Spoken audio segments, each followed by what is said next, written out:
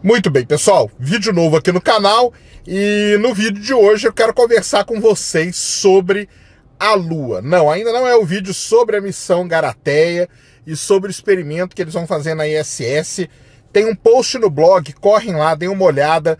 Tem, acho que o Christian do Ciência e Astronomia tá fazendo uma, fez uma live, tá fazendo, fez uma live então olhem lá a live dele e assim que eu voltar de viagem eu vou fazer uma live também com o Lucas, vou conversar com o pessoal para fazer um vídeo bem legal explicando sobre a missão Garateia L e o experimento que eles vão fazer na ISS. É a volta do Brasil para a ISS aí mais de 10 anos depois da missão Centenário. Corre lá no blog, tem um post lá, deem uma olhada, compartilhem a ideia, entendam, acessem, acessem o o hot site né, da missão Garateia da ISS e deem uma olhada lá. Hoje o vídeo aqui é para falar sobre outro aspecto da Lua muito interessante que os cientistas recentemente descobriram evidências de água.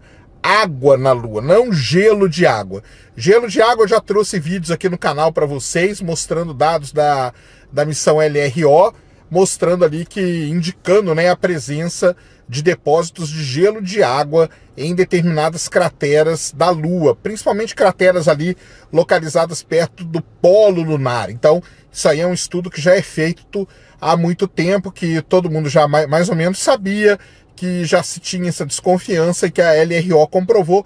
Tem os vídeos aqui no canais. Aliás, outra coisa que eu vou aproveitar aqui, eu agora estou usando os cards direto. Então aqui em cima aparece os cards e nesses cards eu coloco vídeos relacionados. Então, por favor, cliquem aí, porque isso aí ajuda muito o canal também. E no final eu estou colocando aquela telinha final com, com o logo para vocês se inscreverem e dois vídeos anteriores para vocês clicarem. Por favor, usem isso, porque isso aí ajuda pra caramba o canal. Então eu vou deixar os vídeos aqui relacionados a esse tema de gelo de água na Lua. Mas dessa vez foi um trabalho publicado na Nature Geoscience falando sobre a presença de água na Lua.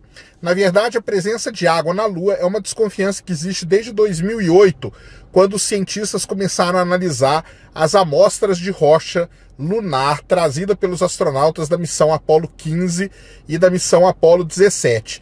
Eles chegaram à conclusão de que havia uma grande quantidade de água naquelas amostras. E só que aquelas amostras elas foram tiradas de regiões que se você pensar a princípio é improvável ter ter água, porque foram tiradas de locais aonde a Lua passou por uma atividade vulcânica, tinha um vulcanismo lunar muito grande, os chamados depósitos piroclásticos que tem na Lua. Então essas amostras foram retiradas dali.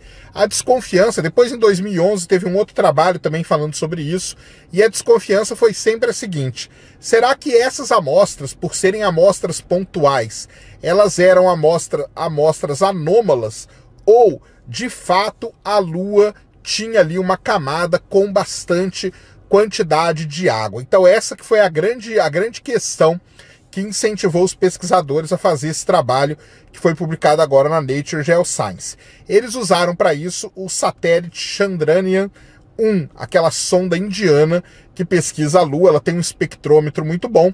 E embora use uma sonda, não é fácil você pesquisar sobre a presença de água na Lua. Eu vou tentar explicar para vocês aqui rapidamente o, o, quais são os problemas. Você precisa usar o espectrômetro porque com o espectrômetro você consegue identificar a presença de determinados elementos químicos nas rochas que você está avaliando. Então o que acontece? A sonda está passando, ela emite um sinal, esse sinal vai interagir ali com, a, com, a, com os diferentes minerais, com os diferentes elementos químicos, vai refletir e voltar para a sonda. Ao voltar para a sonda, ele carrega a informação dos elementos químicos com qual ele interagiu na hora que ele bateu na superfície do, do objeto. E é isso que a espectroscopia faz basicamente. Então, quando o sinal é recebido, os cientistas pegam aquele sinal, analisam aquele sinal e sabem exatamente quais elementos estão ali presentes. Foi isso que eles fizeram basicamente. A dificuldade surge no seguinte: esses depósitos, esses depósitos piroclásticos, esses depósitos de rochas vulcânicas, eles alteram muito a temperatura, eles aquecem muito durante o dia. E qual que é o grande problema? O, esse, esse espectrômetro, além dele registrar a presença de elementos químicos, ele registra também a presença do calor.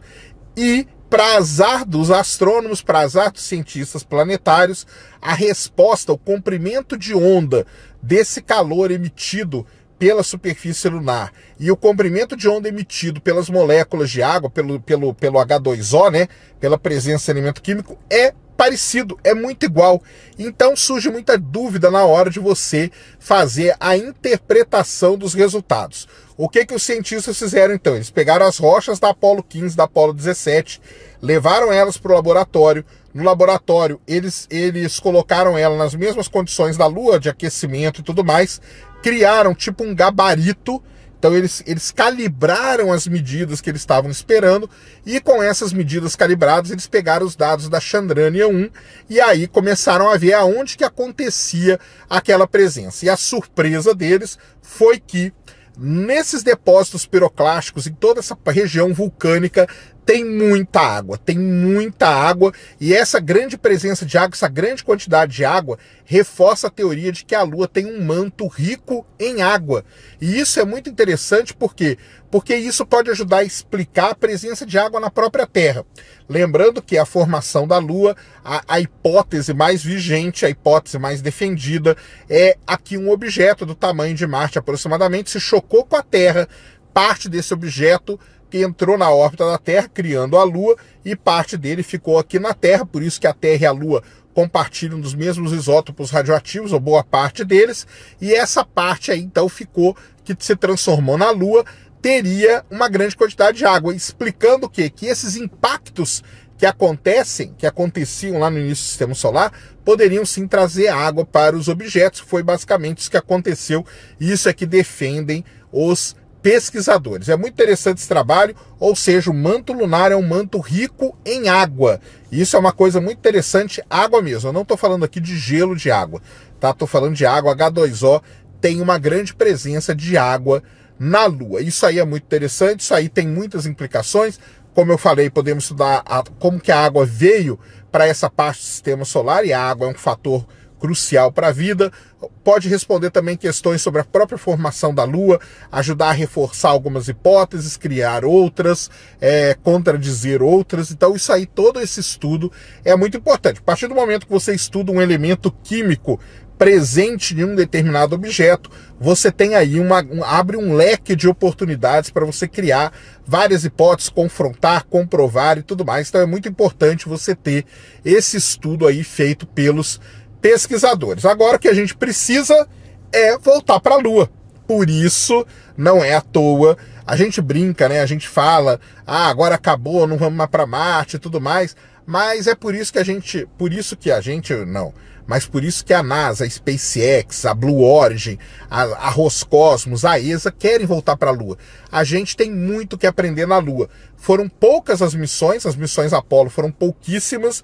A gente tem é, é, amostras muito pontuais da Lua e com essas amostras, esses cientistas eles, eles fazem verdadeiros milagres, porque eles têm que correlacionar amostras pontuais que eles têm com dados de satélite, tem uma cobertura espacial gigantesca da Lua. Então a gente precisa, quanto maior for a nossa presença na Lua, quanto mais astronautas pousarem lá, em locais diferentes, recolherem amostras, se a gente tiver até uma, uma, uma colonização, digamos assim, da própria Lua, vai ser interessante também, porque nós vamos ter a nossa, a, o ser humano espalhado pela Lua toda, nós vamos poder estudar cada vez melhor a Lua, ver que essas amostras pontuais elas podem se repetir em determinados locais e isso aí tudo pode ajudar muito a gente a entender a formação da Lua, a história da formação da Lua, como que a água chegou aqui no sistema solar, na região interna do sistema solar, tudo isso ajudando também a gente entender como que a vida surgiu na Terra e como o nosso sistema solar se formou. Então é muita informação que tem num estudo que parece pequeno, mas ele tem muita, muita valia. Muito bem, então, pessoal, esse era o vídeo que eu queria trazer aqui no canal agora para vocês. Esse vídeo aí trazendo mais evidências sobre a presença de água na Lua. Um estudo muito interessante, muito difícil de ser feito, porque tiveram que desenvolver toda uma técnica ali para poder separar o que era o calor do que era a assinatura da água, mas deu tudo certo, os cientistas conseguiram mais uma vez, muito interessante. Se você gostou do vídeo, já sabe, tapa no dedão, aquela voadora com tudo no peito do like para ajudar o vídeo o canal a ganhar relevância. Nunca se esqueça, compartilha, favorita, se inscreve no canal se você ainda não é inscrito e deixa aí nos comentários o que você quiser saber e responda aí para mim. Você acha que a gente tem outros motivos para voltar para a Lua ou só de lá ter muita água já é um motivo interessante? Deixa aí nos comentários. Não esqueçam de acessar os cards, não esqueçam de acessar aquela tela final com o logozinho para com o logo para você se inscrever e os dois vídeos. Tudo isso aí ajuda muito o canal, porque você se mantém dentro do canal e isso para o YouTube é muito importante para nós aqui que gostamos de astronomia também. Obrigado por tudo, obrigado pela audiência, pela paciência. Fui.